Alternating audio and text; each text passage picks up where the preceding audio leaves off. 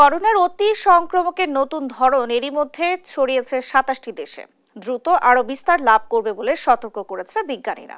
করোনার এক্সিসি নামের অতি সংক্রামক নতুন একটি ধরন যা শিগগিরই শক্তিশালী হয়ে উঠতে পারে, শঙ্কা জানিয়েছেন বিজ্ঞানীরা।